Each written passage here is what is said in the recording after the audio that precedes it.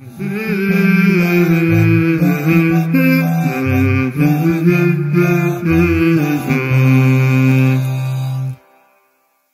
keluarga muslim, Alhamdulillah kita kembali lagi di program Halo Ustadz. Ada pertanyaan insya Allah ada jawabannya. Tadi kita sudah membahas dua segmen sebelumnya ya bersama dengan Ustadz Zulham dan Ustadz Rashid.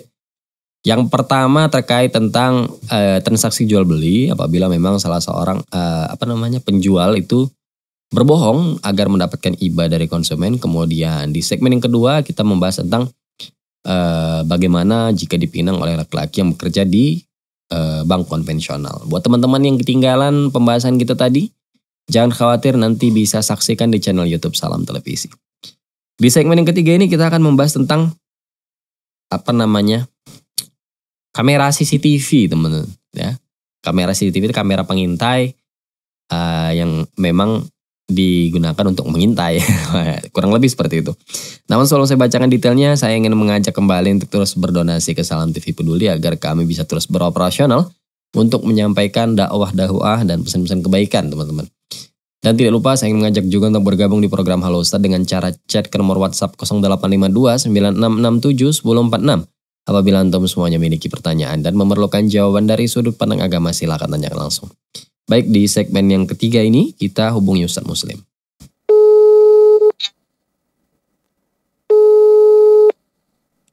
Halo Ustaz, Assalamualaikum. Waalaikumsalam warahmatullahi wabarakatuh. Ustaz, bolehkah pemilik usaha memasang kamera CCTV tanpa diketahui oleh pegawainya? Mohon pencerahannya Ustaz. Memasang kamera CCTV pada daerah umum maka secara hukum boleh untuk memantau misalnya karyawan yang bekerja. Akan tetapi tidak e, siogianya seorang meletakkan kamera CCTV misalnya di tempat-tempat yang e, terbuka aurat seorang pegawai. Contohnya di kamar mandi atau di kamar atau di ruang ganti dan sebagainya. Dan ini tidak siogianya karena auratnya seseorang itu adalah wajib untuk ditutupi.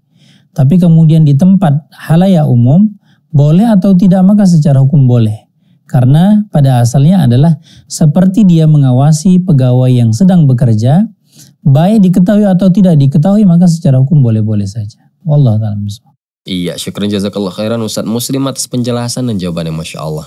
Nah, ini menarik teman-teman ya, karena eh, kamera CCTV itu bukan suatu hal yang baru di zaman sekarang, di tahun ini, dan memang setiap bukan hanya tempat usaha ya eh, apa namanya rumah-rumah pun juga banyak yang dipasang kamera CCTV memang tujuannya untuk apa namanya mengintai ya atau melihat situasi ruangan yang diawasi seperti itu.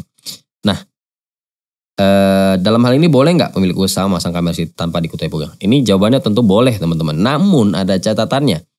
Boleh dipasang tapi di tempat yang umum. Misalnya memang ruang kerja utama ya atau memang ruang operator misalnya itu boleh.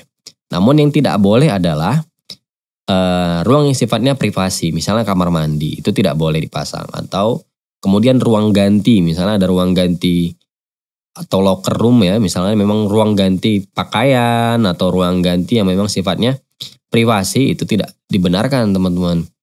Karena itu sifatnya privasi ya. Dan yang boleh adalah seperti tadi eh, apa namanya? ruang kerja utama ya ataupun memang ruangan-ruangan yang sifatnya memang untuk bekerja, bukan untuk yang sifatnya eh, ganti baju ataupun lain sebagainya.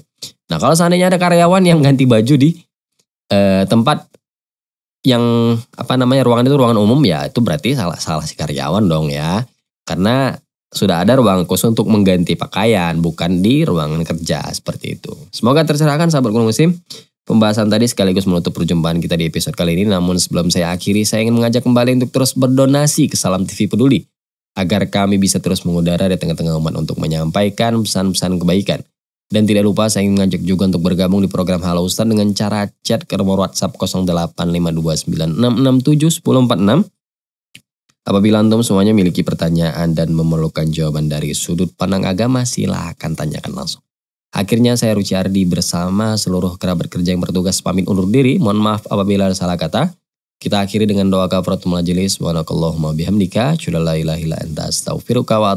Assalamualaikum warahmatullahi wabarakatuh.